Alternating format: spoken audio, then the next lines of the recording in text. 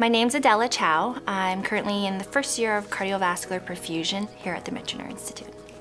Cardiovascular perfusionists are a part of the surgical healthcare team and they're involved in taking over the heart and lung function of a patient who requires open heart surgery. I chose Michener because it's relatively close to home. It has a great reputation in terms of um, allied healthcare. It's also one of the only cardiovascular perfusionist program within Ontario. I've personally always been interested in healthcare in terms of patient care as well as technology. I love to learn the way machines work and the way that, for instance, ventilators work as an RT.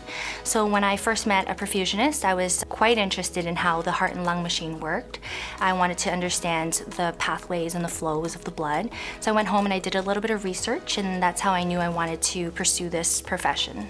The professors and the program administrators really relied on the fact that there are students from different research, clinical backgrounds that all have varying experiences. So they really encourage us to work together and share our past experiences as well as experiences that the professors may have. We go to a lot of clinical days where we get to watch perfusionists interact with anesthetists and surgeons, and that kind of gives us an idea of the team dynamic and how perfusionists will interact with other experts in different fields, better our communication skills, and work more cohesively in an interprofessional team.